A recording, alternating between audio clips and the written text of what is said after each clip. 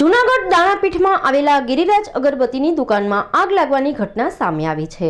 જૂનાગઢ શહેરમાં ગીચ વિસ્તારમાં દાણાપીઠમાં આવેલા ગિરિરાજ અગરબત્તીની દુકાનમાં આજે વહેલી સવારે ફાટી નીકળેલ વિકરાળ આગ ઘટના સામે આવી હતી, જેમાં વહેલી સવારના ચારેક વાગ્યાની આજુબાજુ ઘટના બનવા પામી હતી. વહેલી સવારથી મહાનગરપાલિકાના ફાયર ઘટના સ્થળે પહોંચી ગઈ હતી. તો આજુબાજુમાં તેલની અને ઘઉંની દુકાનોમાં પણ આગ પસરી જવા પામી હતી. ઘટનાને લઈને લોકોના ટોળે ટોળા એકઠા થયા હતા. ઘટનાની જાણ થતાં જૂનાગઢના ધારાસભ્ય ભીખાભાઈ જોશી, કલેક્ટર સૌરભ પારધી સહિતના આગેવાનો ઘટના સ્થળે પહોંચ્યા હતા. તો મહાનગરપાલિકાના ફાયર ફાઇટરોની ખરી જહેમતથી આગને કાબૂમાં લેવામાં આવી હતી. જાનની પરવા કર્યા વિના ફાયર ફાઇટરે આગ પર પાણીનો મારો ચલાવ્યો હતો. તો બીજી તરફ જાણવા મળતી વિગતો મુજબ મહાનગરપાલિકાની ફાયર સિસ્ટમ જૂની હોવાથી અને પ્રેશર ઓછું હોવાથી આગને કાબૂમાં લેવામાં ખૂબ જ સમય વીતી જવા પામ્યો હતો.